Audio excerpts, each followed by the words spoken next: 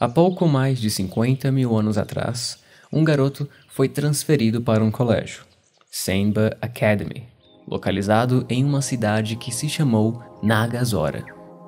O nome do garoto era Kevin. Ele chegou há três meses atrás.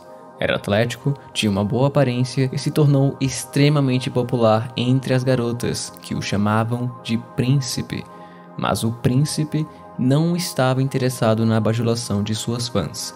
Aparentemente, alguém já toma conta do coração de Kevin desde que ele chegou aqui. Seu nome era May. Seus colegas de classe a chamavam por nerd. O pai dela era um físico renomado, especializado no campo do eletromagnetismo. Ela queria se tornar uma cientista e expandir o conhecimento. Ela não estava interessada em mais nada. E isso inclui amor também. Kevin tentou todos os tipos de maneira para chamar a atenção de May, mas May ignorou cada tentativa. Suas ações podiam ser um pouco imaturas e chatas às vezes, mas Kevin foi persistente e suas intenções eram boas. Isso deixou uma impressão em May. Se a paz pudesse ser mantida, talvez o príncipe e a nerd poderiam viver felizes para sempre. Mas o rosto da paz foi quebrado novamente. A terceira erupção de Honkai, da época anterior, ocorreu na cidade de Nagasora. Era o terceiro impacto. As pessoas corriam para abrigos em meio ao caos, de explosões e sirenes. Kevin segurava May pela mão enquanto tentavam escapar da cidade caída. Eles então encontraram um homem vestido de preto. O homem disse aos jovens que sua missão era proteger May. De fato, ele fez um convite para que May se juntasse à organização deles, como pesquisadora júnior. Essa organização foi chamada The Moth Who Chases the Flames. Fire Moth. Mermaidens of Task Force Honkai. Moth passou a ser uma força-tarefa das Nações Unidas dedicada ao combate contra o Honkai. May publicou um artigo sobre mecânica quântica há apenas seis meses. Firemoth estudou esse artigo e considerou May uma das melhores mentes que já haviam visto. Kevin, se recusando em ver May sendo retirada de si, ofereceu para se juntar a Moth como soldado, e assim seus destinos foram unidos.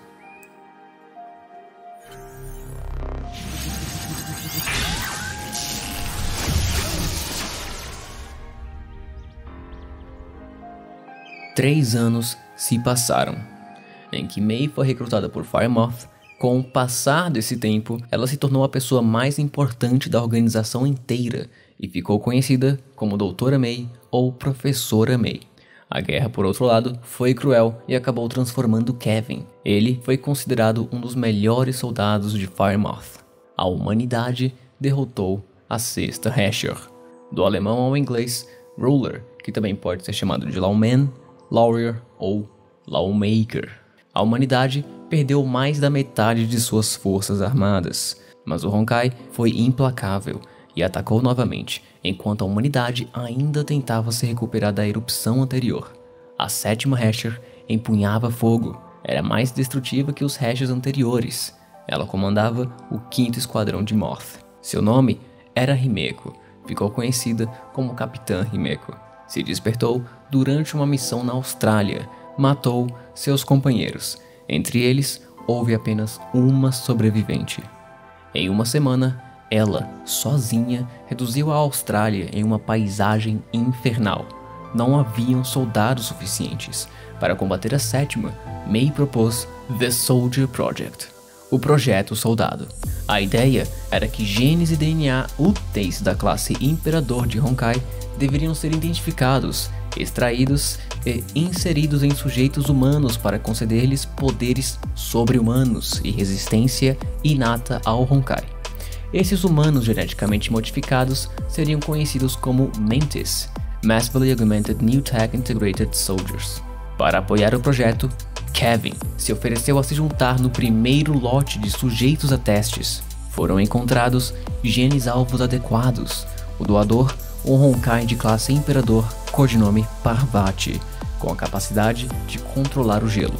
E então, uma construção genética foi preparada e injetada em Kevin. Essa construção genética foi conhecida como ICOR, Intracromosomal Honkai Gene Repeats, repetições do gene intracromossômico de Honkai, ou algo assim.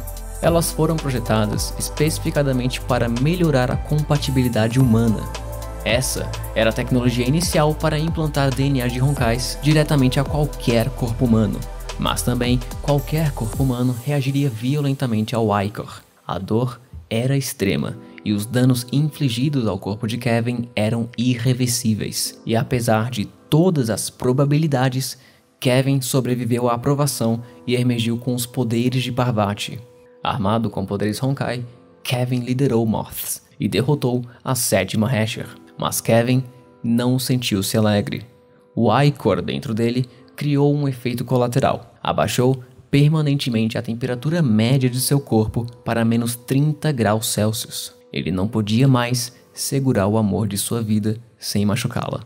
Ele sabia que ficaria sozinho pelo resto da vida. Qualquer ser humano que chegasse próximo o suficiente de Kevin congelaria, no sentido de sentir muito frio mesmo. O corpo dele irradiava o frio, e tudo que ele tocava também ficava só frio. May soube como Kevin se sentia, mas precisou manter seu foco em projetos futuros. May realmente soube. Kevin, comumente, se tornou um dos soldados mais poderosos da humanidade, um guerreiro. Durante esse tempo, May utilizou do seu conhecimento com mecânica quântica para criar uma inteligência artificial, na qual ela nomeou de Prometheus AI, com o objetivo de prever os resultados da guerra. Dessa forma, May poderia ter também a absoluta assistência, capaz de realizar cálculos matemáticos complexos mais rápidos, analisar energias Honkai e até desenvolver ideias juntas, etc. O cálculo para prever o resultado da guerra foi iniciado. No resultado, as análises foram pessimistas. O cálculo mostrava que haveria um total de 14 hashers. O 14 exerceria poderes mais fortes que os anteriores. A humanidade será destruída pelo 14. Esse era o resultado. A única esperança da humanidade era descobrir um meio de utilizar os poderes de um hasher contra um hasher. May então iniciou o projeto The God Key Project, o projeto Chave Deus. O projeto visava converter núcleos de hashers derrotados em plataformas de armas. O núcleo da sétima hasher deu origem a Dual Guns Judgment of Smash. Entretanto, para liberar o verdadeiro poder dessa chave, a fusão das duas armas era realizada, dando origem a Cleaver of Smash, na forma de uma Claymore, sendo esse o Zeroth Rated Power dessa chave. Essa habilidade tinha um poder capaz de destruir uma cidade inteira e até mesmo a morte de quem a empunhava. A temperatura corporal abaixo de zero em Kevin fez dele o único humano capaz de liberar e sobreviver a todo o poder de Smash. Essa chave ficou conhecida como Chave da Destruição. Houve também outro nome, mas não se popularizou tanto. Kevin, sozinho, conseguiu derrotar dois Hashers com essa chave, o nono e o décimo primeiro. Eu ainda vou chegar lá. Existe uma pequena trivia que eu gostaria de compartilhar sobre as chaves divinas. Toda chave divina criada, ou chave de Deus, possui um modo escondido, um poder escondido, um segredo, algo único, um enigma. Zeroth Rated Power, ou Zeroth Rated Power, é o nome que foi entregue a elas. Algumas pessoas acreditam que o Zeroth Rated Power seja a intenção original do design por trás dessas chaves, ajudando a realizar suas habilidades únicas. Portanto, segue o princípio da nomenclatura de Lei número zero para indicar a exclusividade dessa capacidade. Bem, voltando à história. Dois hashers surgiram e foram derrotados, o oitavo e o nono. Informações sobre o oitavo hasher permanecem desconhecidas, mas suas habilidades não. Era capaz de manipular a mente e criar paisagens de sonhos. Aparentemente, foi Kevin quem conseguiu derrotar e obter o núcleo. O nono hasher ficou conhecido com dois nomes diferentes: Hasher of Earth e Hasher of Gravity. Hasher of Earth é o nome mais popular dentro do jogo, mas não se confunda quando escutar Hasher of Gravity, ambos referem-se ao nono, que criou um buraco negro enorme e engoliu um continente inteiro que se chamava Mu. Esse Hasher podia também manipular a gravidade. Mu era estimado por habitar um bilhão de pessoas. Um sexto da população mundial foi instantaneamente perdida, e a pouca estrutura social que houve depois entrou em colapso. Aqueles que sobreviveram viviam em condições severas. Bem, eles foram derrotados. Logo, duas chaves divinas foram criadas. A número 8, Feng Huang Down, também conhecido como Phoenix Down ou Amber Dust. Após a criação dessa misteriosa chave, Mei a entregou para uma soldada de origem chinesa. A número 9, Eden Star, ou The Star of Eden. Quando o décimo Hasher apareceu, se despertou em uma chefe de cozinha que ganhou a habilidade de se tornar invisível. Bem, ela tentou atacar a professora May, que estava jantando em seu restaurante, mas foi interrompida por Kevin. No corpo dessa Hasher, May encontrou uma pedra misteriosa que ela suspeitou ser o núcleo da décima. A estrutura física era quase idêntica à de um núcleo de um Hasher, mas, por alguma razão, era menos poderoso. Nos próximos três dias, 15 humanos em diferentes cidades se tornaram em seres semelhantes a um Hasher. Dez dias mais tarde, esse número aumentou para 92. A pedra misteriosa, que era idêntica à primeira, foram também encontradas em cada um desses 92 corpos. Quatro meses mais tarde, não houve mais nenhum caso de Hasher se manifestando em humanos. Houve mil avistamentos. Todos foram derrotados. Como isso aconteceu? Eu sei que vocês querem uma explicação e eu vou desenvolver essa história para vocês. Bem, eu basicamente estou traduzindo a comic nesse exato momento. Vamos lá. A décima Hasher recebeu o título de Hasher of Domination, mas Faremoth preferiu chamá-la de Hasher of Legion, os mil humanos que infelizmente foram transformados em Hashers foram numerados de L10-001 a L10-1000. Cada parte da Hasher da Legião era significativamente mais fraca do que qualquer outro Hasher antes dela. Os outros Hashers tomaram seus poderes de um elemento específico. A Hasher de raios ou a Hasher de relâmpagos, por exemplo, dobrou a eletricidade ao seu capricho com uma eficiência aterradora, mas cada corpo do resto da legião tinha apenas habilidades muito simples. L10-001, a chefe de cozinha, conseguia se tornar invisível, controlando a direção da luz ao seu redor, curvando o próprio ar, uma das habilidades da Hasher de vento. Mas a própria L10-001 não possuía mais nenhum dos outros poderes que a Hasher de vento possuía, como controlar a pressão do ar para criar furacões e turbilhões. Não havia como saber quem seria corrompido e transformado em um Hasher. De L10-001 a L10-1000 vieram de todo o mundo. Suas personalidades, raças, idades e condições físicas eram extremamente diversas. Ninguém sabia por que alguém se tornaria um Hasher e toda vez que um Hasher era capturado, terminava sua própria vida antes que qualquer interrogatório ou experimento pudesse ser realizado, deixando a humanidade com muitas perguntas sem respostas sobre esse fenômeno infernal. Vale notar um incidente referente a L10 997, que era membra do alto escalão de Firemoth. Após a derrota de L10 997, Todos os membros de Firemoth foram obrigados a participar de testes agendados para verificar se estavam corrompidos com a energia Honkai. Professora May acreditava que cada membro da Recha da Legião usava o princípio do entrelaçamento quântico para se comunicar em distâncias indefinidas. O incidente referente a L10-524 parecia provar essa teoria. Ela costumava ser uma vendedora comum, mas, depois de sua corrupção, ela atacou uma das fábricas de Firemoth. A localização dessa instalação deveria ser mantida em segredo. A única maneira de saber essa localização era se L10-997 tivesse contado L10-524 em pessoa, mas L10-997 nunca saiu da sede e todas as comunicações dentro e fora de Firemoth foram rastreadas de uma maneira muito rigorosa. Nenhuma mensagem suspeita foi encontrada. Nos quatro meses em que a Hasher da Legião plantou suas sementes de destruição, ela atacou muitas das infraestruturas cruciais de Firemoth. e ao mesmo tempo causou estragos nas principais cidades. A escala do desastre era ainda pior do que os hashes anteriores, porque havia muitos deles e seus ataques táticos eram bem coordenados.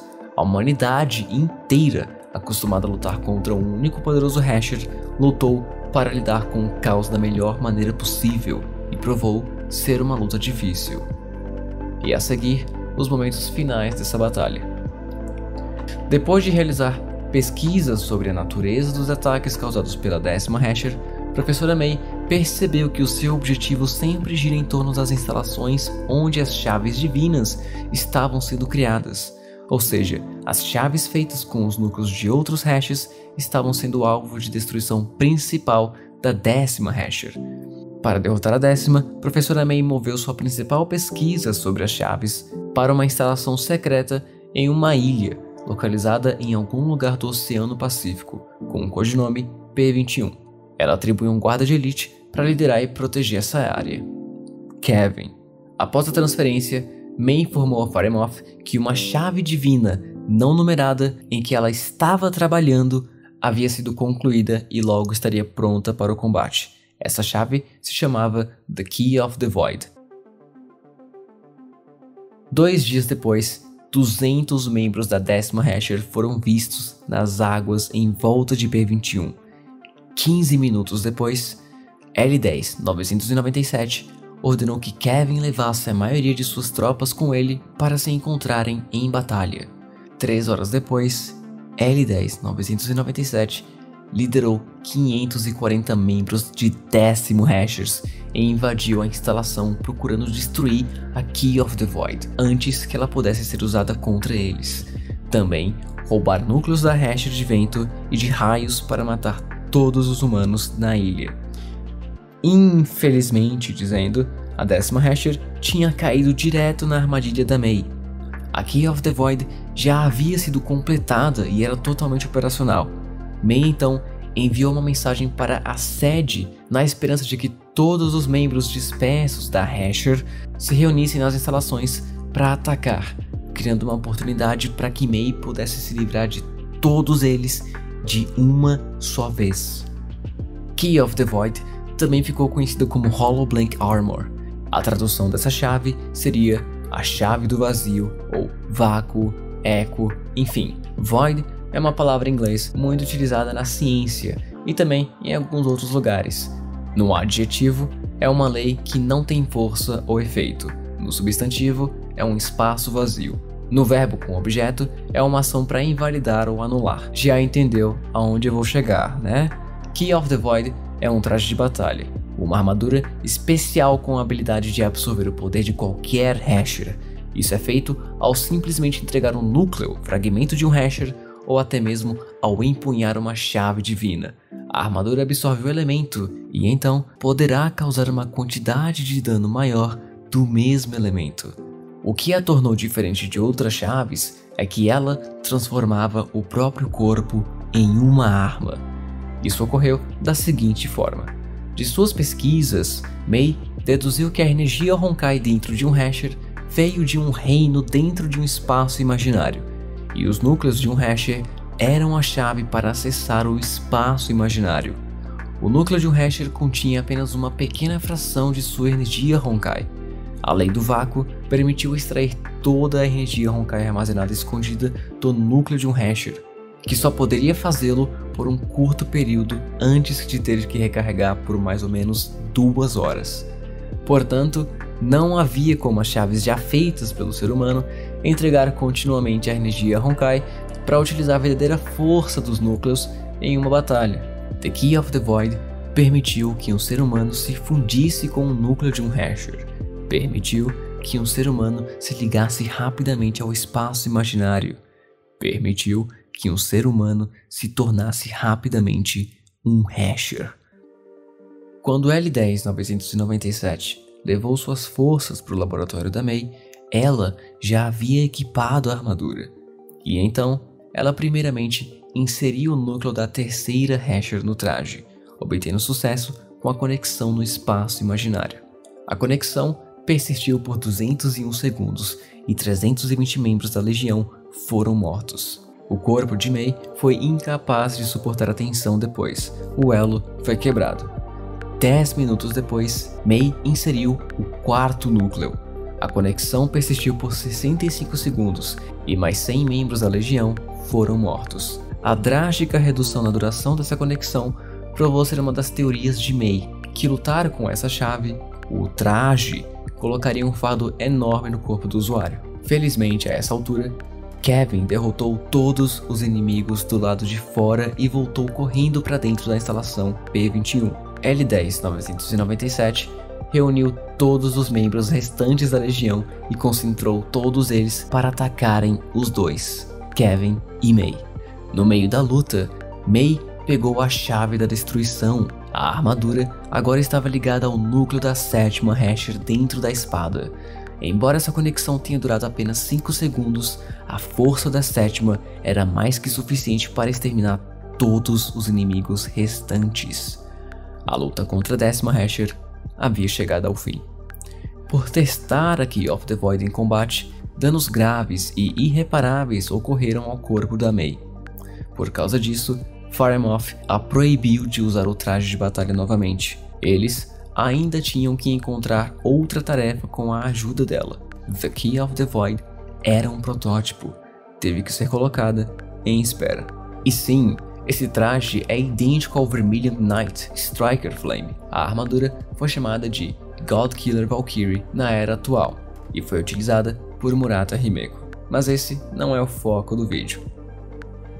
Quando Mei Kevin e o mundo inteiro derrotaram a décima Hasher e seus mil clones, May conseguiu extrair do núcleo mil chaves divinas. A maioria delas possuía o mesmo formato. Essa coleção inteira ficou conhecida como Juonion Sword anos mais tarde. Seis meses depois, após derrotarem a décima Hasher, não houve celebrações. A guerra contra o Honkai deixou mais da metade das cidades humanas em ruínas. A aniquilação permaneceu uma possibilidade gritante para a civilização humana. Mas os Moths permaneceram firmes e procurou uma solução melhor para acabar com a ameaça Honkai. Com a produção em massa da décima chave, a humanidade então voltou a sua atenção para o elemento humano de batalha. A próxima fase do projeto Soldado foi iniciada para se criar mais mentes.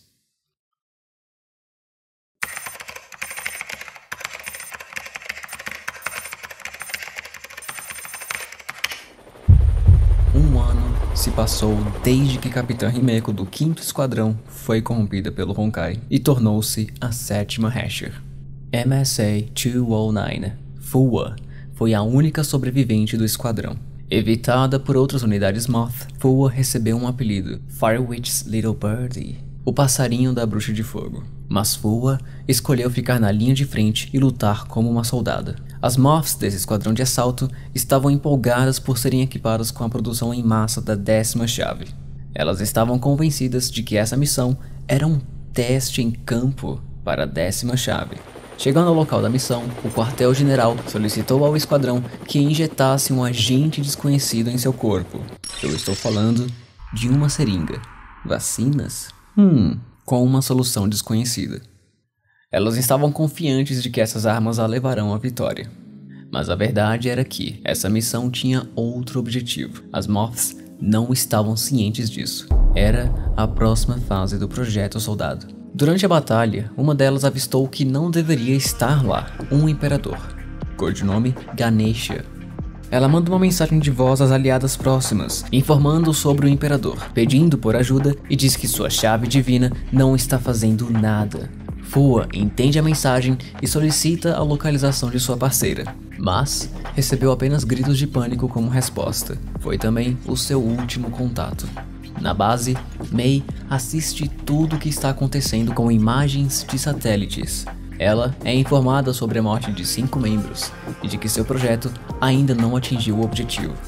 Sua colega de equipe sugere encontrar novos sujeitos para se aplicar ao teste. Professora May, concentrada, diz para sua colega se segurar e esperar que a batalha chegasse a um fim. Enquanto isso, Fua finalmente se encontra com o Imperador. Lembra do relatório da missão dizer que não haveria essa classe de Honkai, e se realizou que no fim, isso se tornou uma missão suicida, mas ela se recusou em correr. Novamente. Nesse instante, nós vemos os momentos em que Foa fugiu do seu primeiro desastre e ficou sozinha, e esses são os seguintes diálogos da comic. Lembro-me do dia em que o Honkai chegou e destruiu Sapphire, minha casa. Os animais assolavam a cidade caída. Eu podia apenas correr. Eu não tinha outra escolha. Foi então quando eu conheci ela.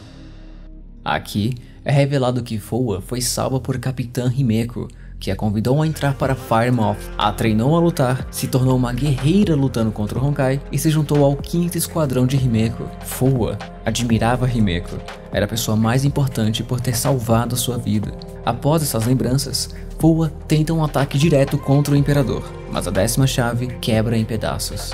Ela recebe um tiro carregado de energia Honkai do Imperador e passa a acreditar que aquele é o fim. Nesse momento, Fua consegue escutar uma voz e tem uma visão. É de Himeko, dizendo que chegou a sua hora. Fua acredita que Himeko apareceu em sua frente para levá-la ao mundo dos mortos e viver ao seu lado. Fua então lhe pede: Por favor, me ensine a lutar como fazia antes.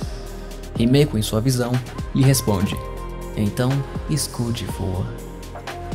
Suas palavras foram interrompidas e a visão de Fua se preencheu com a imagem de Himeko sendo morta em sua frente. Fua, então, encontrou uma razão para continuar lutando, dizendo a si mesma que não deveria morrer ainda. Não até ela descobrir o porquê Himeko se tornou uma dos Honkai. Ela deveria descobrir a verdade. Na base, diversos sinais vitais sobre o corpo de Fua disparam.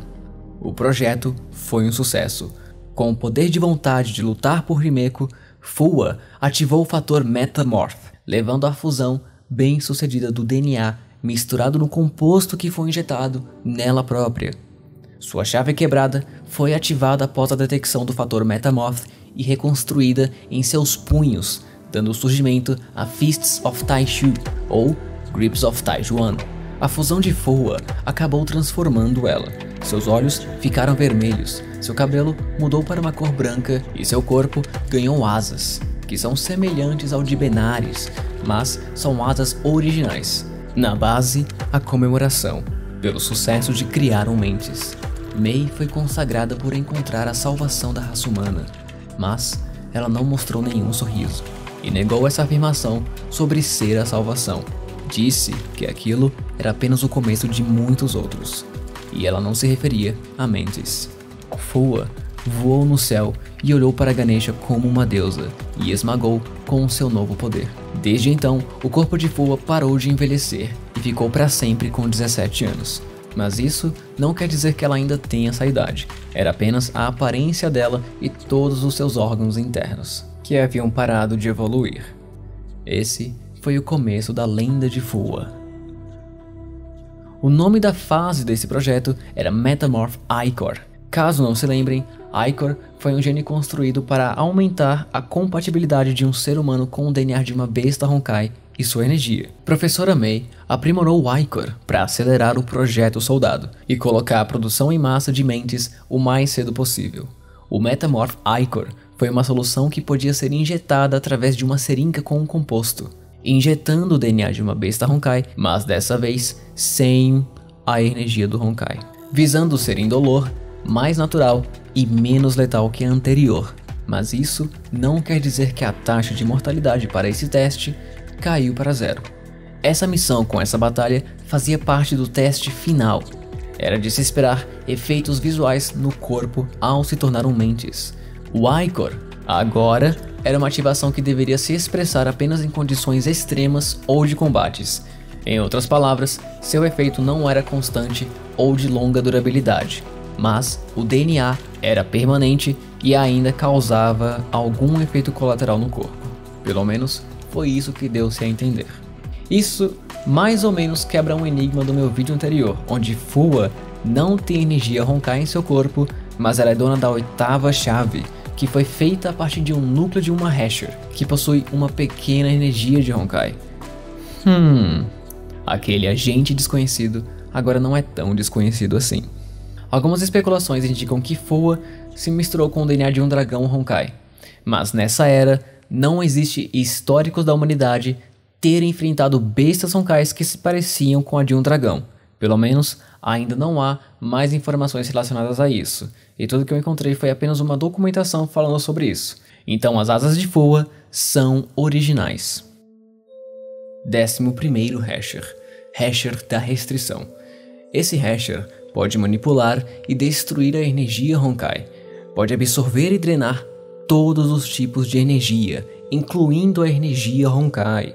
O núcleo foi recuperado por Kevin e a chave criada foi chamada Judas Oath. 12 Hasher Hasher da corrupção. Enquanto a humanidade criava as chaves divinas, o 12 Hasher finalmente apareceu. Ela era uma garota jovem e humana. Embora a leitura Honkai no nível de Hasher tenha sido detectada dentro dela, ela não exibia poderes. Ela é humana em forma e em pensamento. Ela não entregava sinal de malícia ou ódio. Foi a mais inocente.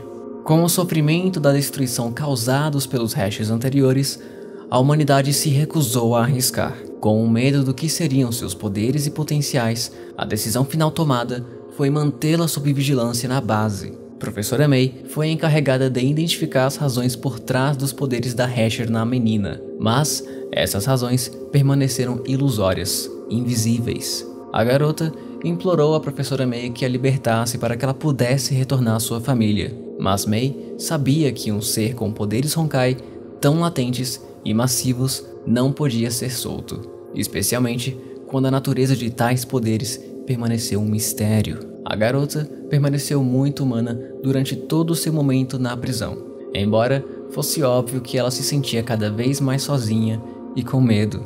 A humanidade então fez o pior. Professora May deu ordens estritas para não prejudicar a menina de forma alguma, mas o medo ganhou o melhor da humanidade. Vozes começaram a ecoar dentro da base. Ela é só uma garota. Os outros Hashes destruíram 70% da civilização. Até mesmo a Doutora May não tem ideia do que ela é capaz. Saia do nosso caminho. Loucura. Ela não fez nada de errado. Sacrifícios devem ser feitos para a humanidade viver. Nós não temos escolha. Os guardas no topo da base invadem o local onde a menina está e a assassinaram com tiros. Com muitos tiros. O assassinato plantou a semente do ódio. A semente brotou e despertou o poder da décima segunda, a Hasher da corrupção. O que ficou adormecido agora está agitado no momento da morte da menina. O corpo da garota se desintegrou em uma névoa escura, com uma poderosa energia Honkai. A névoa primeiro infectou seus assassinos, que estavam celebrando em sua cela transformando-os pela primeira vez na história dessa terra em zumbis, que atacaram todos os humanos nas proximidades. A base reagiu rapidamente com contramedidas. O último zumbi foi encerrado no centro de controle F-23, 15 minutos após o surto. Isso foi apenas o começo. Levou apenas um minuto para dominar todos os computadores da base. A verdadeira forma da 12ª Hasher se revelou um vírus sensível de alta consciência, capaz de infectar seres humanos, animais e qualquer forma de processador ou sistema lógico. A entidade fervilhava com o ódio da menina, realizou seu desejo de vingança. A base mantinha um arsenal com 300 armas nucleares para lidar com um possível ataque de Honkai. Ela atirou todos eles nas últimas três cidades do mundo.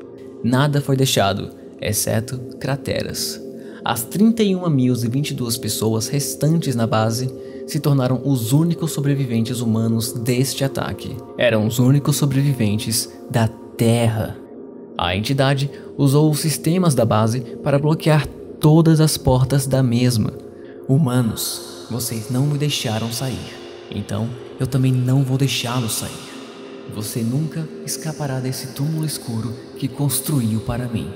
Mas Professora May não desistiu. Ela ligou suas consciências essenciais a um sistema ainda não infectado na base, utilizando uma caixa preta, o Hasher, caiu na isca. May então desconectou a caixa preta e prendeu o Hasher.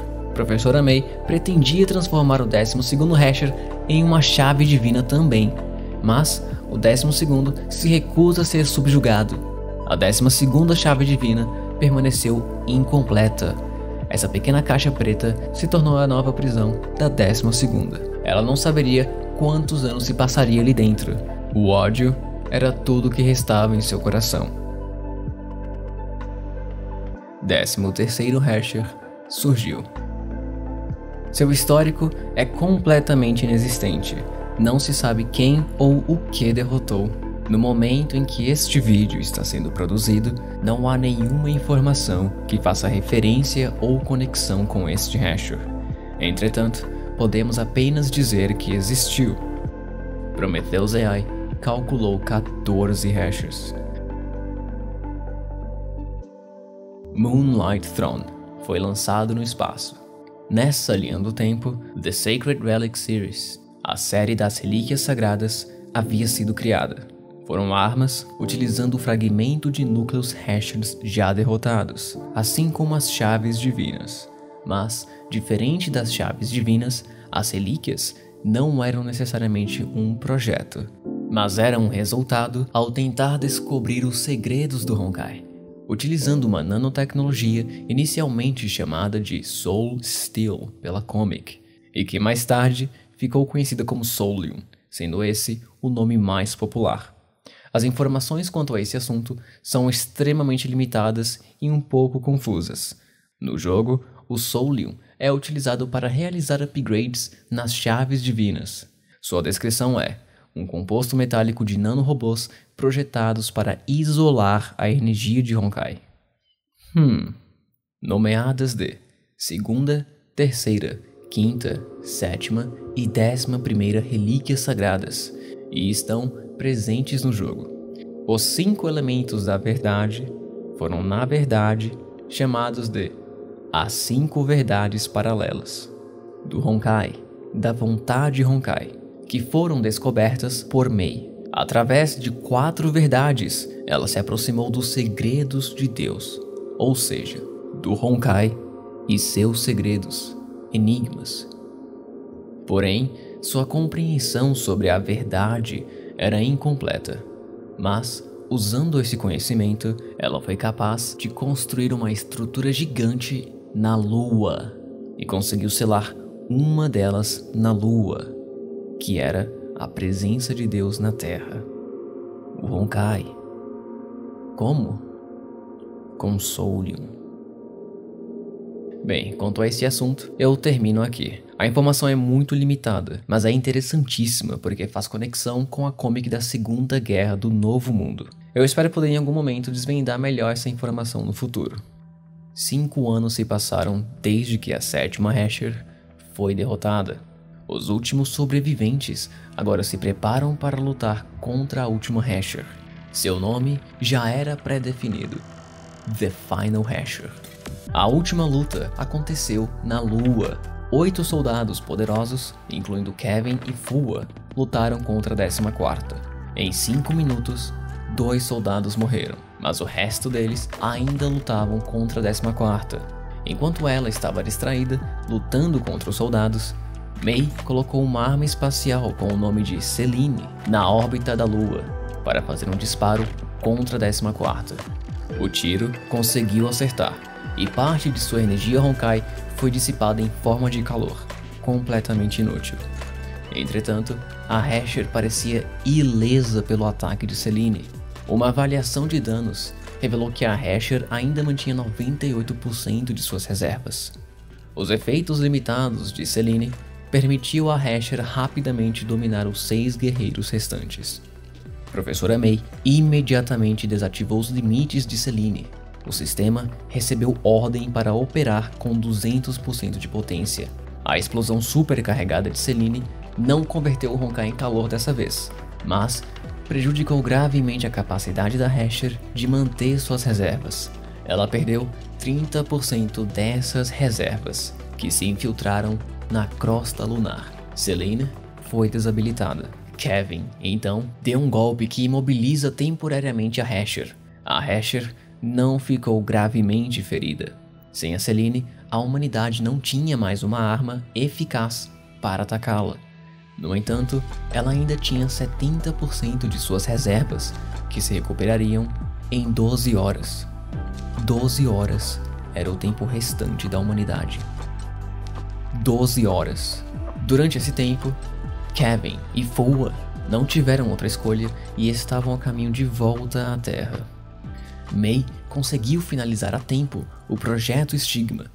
A última chave divina foi escondida e protegida, e então, The Seeds of Revenge Project, o projeto Sementes da Vingança, foi iniciado.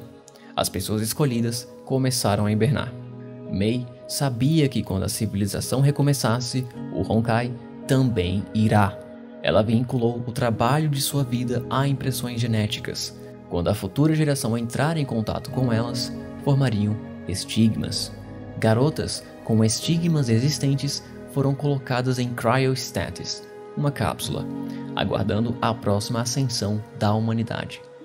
Fuxi e Nua eram duas garotas que hibernaram com suas futuras responsabilidades de proteger a décima chave, até encontrar um verdadeiro dono e liderar a humanidade. May faleceu logo mais tarde.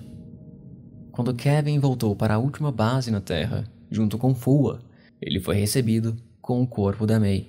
Ela fez tudo o que podia pela humanidade e morreu em serviço no terminal de controle, devido à excessiva exposição com o Honkai e exaustão. Kevin não queria viver em um mundo sem seu amor, mas o choro de um bebê o impediu. Ele encontrou o bebê em um laboratório junto com uma carta. Era um bebê de tubo, criado com os materiais genéticos de May e Kevin. May também melhorou suas sequências Icor. A temperatura do corpo do bebê se tornaria normal quando crescer. Dessa forma, Kevin poderia segurar o bebê sem congelá-lo. Continue, Kevin.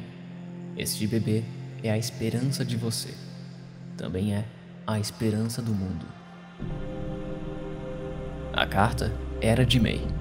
Ela implorou que ele tivesse esperança. Para cumprir seus desejos, Kevin levou o bebê a um abrigo e entrou em uma cápsula junto com o bebê para se hibernarem. Fua também se hibernou. A 14ª Hasher destruiu o resto do velho mundo e desapareceu. Pouco mais de 50 mil anos se passaram. As ruínas da época anterior se transformaram em pó. A radiação residual do Honkai decaiu e se dissipou. Os sobreviventes humanos lentamente reconstruíram a civilização, mas os Honkai ressurgiam à medida que a civilização fazia progresso tecnológico. A previsão de Mei estava correta. Então, ele apareceu diante dos humanos da era atual um guerreiro de cabelos prateados, com uma espada flamejante e um bebê no braço. Ele se nomeou Cassalana e veio para entregar esperança à humanidade. Essa era a lenda de Kevin Cassalana, o grande pai de guerreiros cassalanos que empunharam o Judgment of Shimash. Professora May, ou melhor dizendo, May é a mãe da linhagem dessa família. Infelizmente, já falecida.